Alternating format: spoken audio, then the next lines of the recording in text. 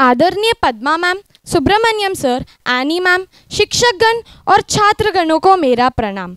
आज के दिन हॉकी के जादूगर मेजर ध्यानचंद जी का जन्म दिवस है। इस दिन को हमारी भारत सरकार ने राष्ट्रीय खेल दिवस भी घोषित किया था।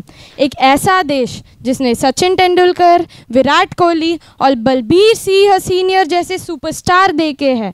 इनके बावजूद हॉकी के करियर में मेजर ध्यानचंद ने एक विशेष स्थान प्राप्त किया है। जब उनको भारतीय टीम में स्थान मिला था, तब इतनी सुविधाएँ नहीं थी।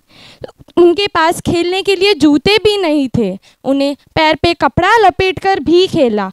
इसमें हमें यह खेल के प्रति उनकी श्रद्धा नज़र आती है और ऐसे संघर्ष के दिनों को याद करके हमें उनसे प्रेरणा लेनी चाहिए। अब आइए मैं आपको उनकी पृष्ठभूमि के बारे में बताती हूँ।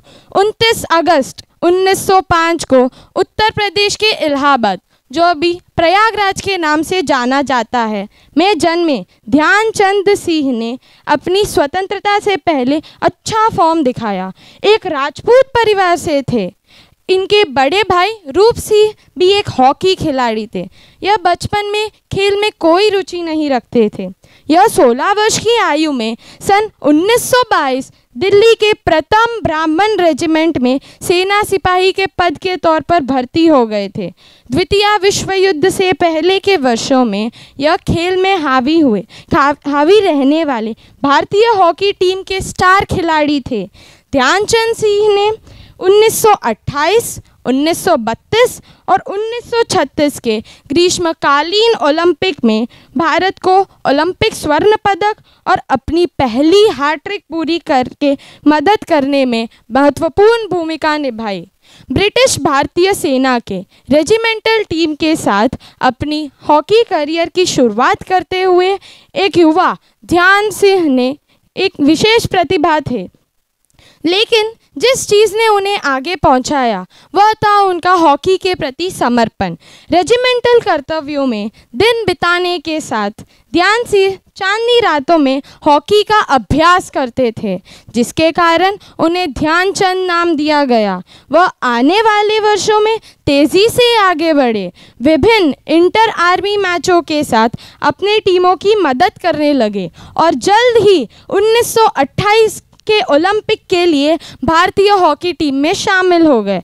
उसके बाद उन्होंने पीछे मुड़कर कभी नहीं देखा और हॉकी टीम के कमाल से दुनिया पर राज किया, जिसने उन्हें हॉकी जादूगर और द मैजिशियन बना दिया।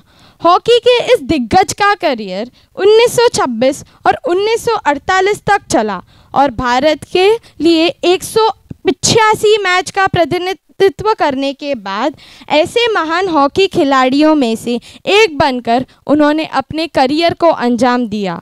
जब वे 1956 में भारतीय सेना की पंजाब रेजिडेंट में एक मेजर के पद से रिटायर हुए तो उन्होंने उन्हें भारत सरकार ने वर्ष, उसी वर्ष पद्म भूषण से सम्मानित किया, जो कि तीसरा सर्वोच्च नागरिक पुरस्कार भी है। उनके जीवन से हमें यह प्रेरणा मिलती है कि लक्ष्य की प्राप्ति संघर्ष से ही होती है। फिर से सुनिए, लक्ष्य की प्राप्ति संघर्ष से ही होती है। उनकी, उनके प्रेरणा से भी हमारे दिल में ध्यानचंद बनने की चाहत होनी चाहिए। देश के प्रति सम्मान और खेल के प्रति सम्मान की शिक्षा हमें उनके जीवन से मिलती है। धन्यवाद।